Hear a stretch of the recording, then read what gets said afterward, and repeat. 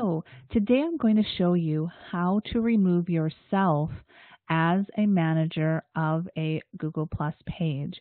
Now this will also, if you have connected the YouTube channel, this will also remove you from YouTube and anything associated with that Google Plus page. So just be aware of that. But you don't need to wait for the owner of the page to do this for you. You can do this on your own. And I'm going to show you very quickly how to do that. This way you don't have to contact the owner and you can take care of business and stop receiving all those notifications on pages you may no longer be working on. So first thing you're going to do is get into your Gmail email account as you see I have here. You're going to go all the way over to the right hand side where you see your picture and you can see here it says Google account and my name.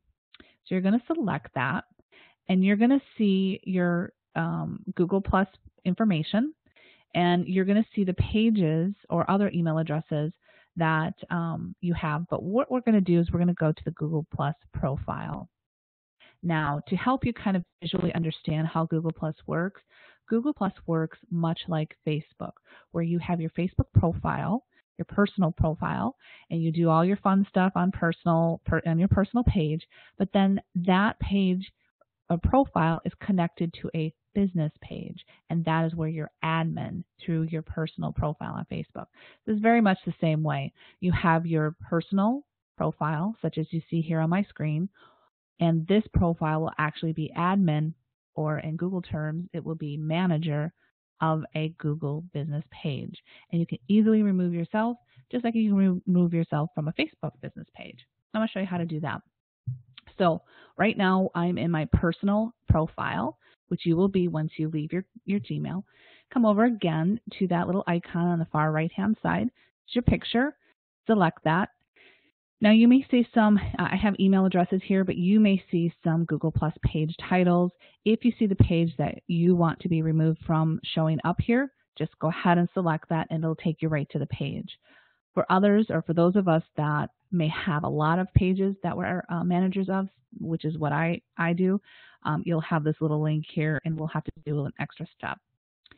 So once you select that, we're going to come over here and I'm going to remove myself from the double star locks page. Now you'll notice here that I am from the icon to the far right, right. If you hover over that, you will see it's a Google Plus page. This is how you know you're in the page.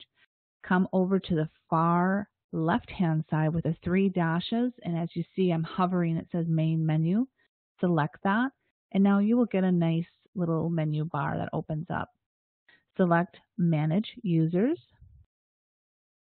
and then you will see manage permissions show up now there's two ways that you can be removed as manager you can have the primary owner do it for you they are the only ones that can remove or add people but you can remove yourself so if there were others listed here, we would not be able to remove them, but I want to remove myself as manager. This is very, very easy. See this little X? I just select that and it says, are you sure you want to remove myself? Yes, I do. And again, I will have no access to the content, Google Plus, YouTube, or anything local. Um, the page will still be up, but I am just removed as manager, which is what I want to do. And now you will see that everything goes away and I no longer have access to that. So there you go. This is a quick little tip on how to remove yourself from a Google Plus business page. I hope that helps.